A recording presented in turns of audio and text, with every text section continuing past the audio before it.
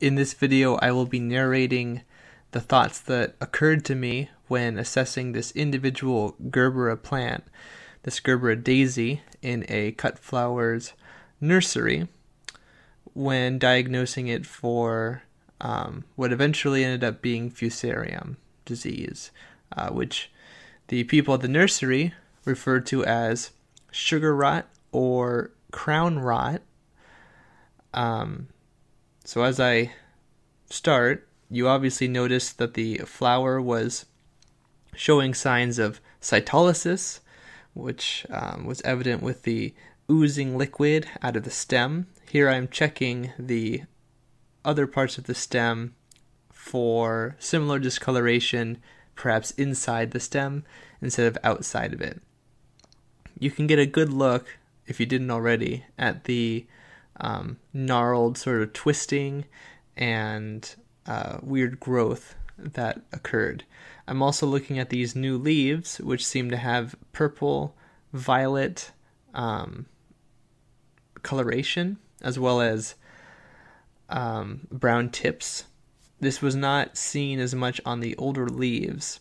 Something that was normal for a lot of Gerbera plants was an excess of dead leaf litter, which I'm noticing here, um, which can be a reservoir for the spores of certain diseases.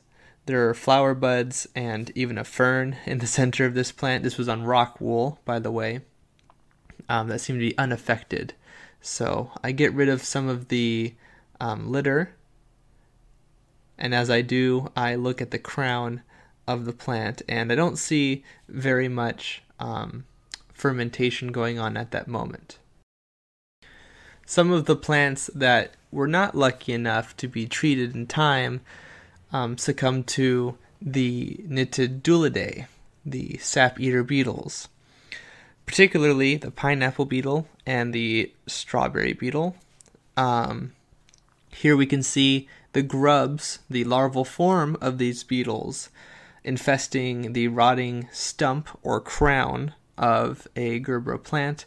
We can see a few leaves that are barely hanging in there. I removed them to sort of disturb the, I guess, sort of quasi colony that we have here and to get better footage for my narration. We can see that one of the grubs here has left the stump. It will eventually fall into the pot and possibly be swept up by the nursery's gutter system. For a grub, that could be a death sentence, essentially. But for adults that uh, exist near the stump, it's not a problem at all. They can fly. So the larvae that exist on the stump here, this crown that's rotting, it will, or they will pupate they will turn to adults, and then the adults will spread, or can spread, and act as a vector, the disease fusarium. And fusarium can be, uh, or at least the spores can be, uh, stored. They can essentially be dropped off at a location and just stay there for a very long time. They can exist in soil for quite a while, depending on the environment.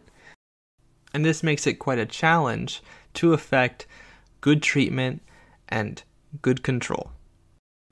But other plants can be saved if the proper procedures are taken. Now, one of the things that the people who own the nursery decided to do was to bag up the infected plants and simply throw them away. It made economic sense for them to do that, but it's not every crop that will be able to use that as a effective treatment. Partly because the plants might cost too much, perhaps they can't afford to lose the production, maybe there's a ton of plants that have been infested and cannot be saved, and it's just too far gone. But if you're only dealing with a few of these plants that have been infected by fusarium, taking a aggressive an aggressive immediate move and stance might be able to save many of the other plants. These beetles, however, didn't come out of a vacuum and they might be existing close by on the property in other places where this sort of fungal mass can exist or where other organisms that give off a similar like vinegary um, fermented scent that attracts them.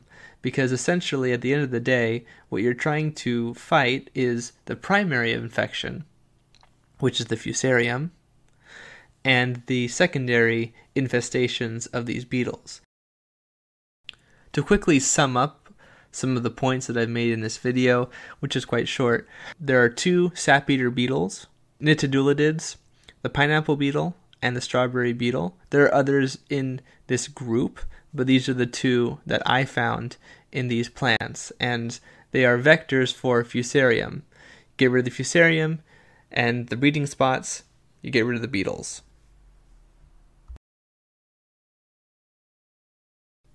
I hope you enjoyed the video and found it educational or at least informational. Maybe pointed some people in the right direction regarding um, some odd symptoms in somebody's plants, or perhaps they came across similar beetles. However, you found this video, I hope it's been helpful in some way. And if you are interested, I have linked two other videos that are related to the footage and the topic or topics that were in this video. Primarily the beetle footage, I have more of that, and I have more information and more footage on Gerbera.